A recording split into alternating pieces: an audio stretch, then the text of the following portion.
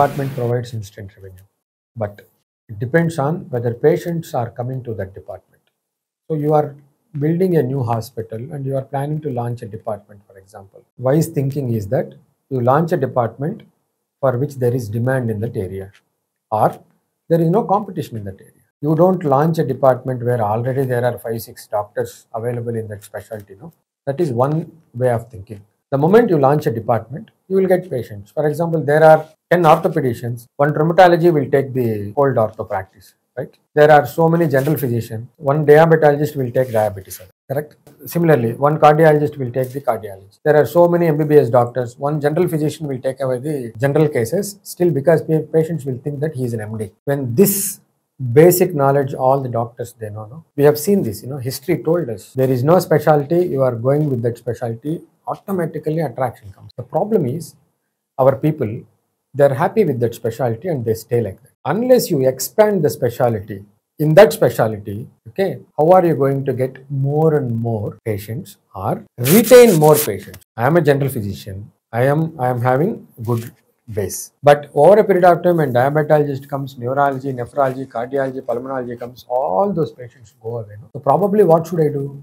In general physician, you start an ICU. You say that I manage critical cases. That way you will retain again because you become the center for critical patients. Or you launch diabetology clinics. If you are just an MBBS doctor, you have a hospital. Or a general physician, you have a hospital. Or a surgeon, you have a hospital you want instant revenue to increase again wisdom says don't go for a another department because you have to pay you have to go for all the you know other paraphernalia you have to depend on that specialist simplest thing is in your own department because you already have people patients coming for you start an icu the moment you start an icu you become super specialist in that area for that department because you have started to treat all the high risk patients in that discipline this applies to everybody any department for that matter of fact that will add instant revenue to you. Why? Number one, you are already referring out critical patients outside. Okay, that loss will be stopped, which is nothing but a leaking bucket. Second thing, you are already not taking high risk surgeries. They are elective, they are not emergencies. That is second thing. Third thing, your community has been seeing you for some time that you don't have an ICU.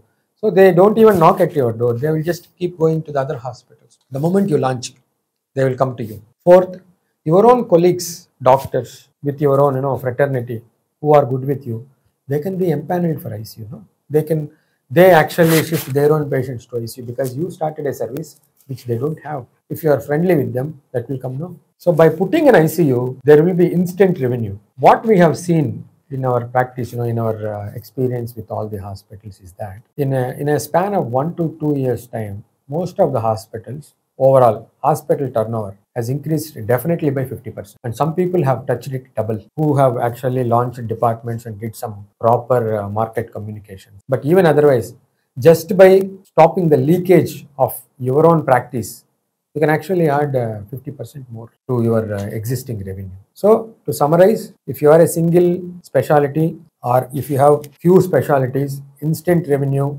comes from having a good icu you already have a good ICU, you have some specialties, you want to have a, you know, adding more revenue, it comes from adding more department. You have no hospital, you want to launch a hospital, I want an instant revenue, choose a specialty which is not available there. You have, you are starting a hospital, but you have no other option but to launch the same specialty which is already available there. Then innovate in that specialty. As I said before, add ICU and add some other extra uh, features of that specialty. That is how you actually get instant success. Thank you.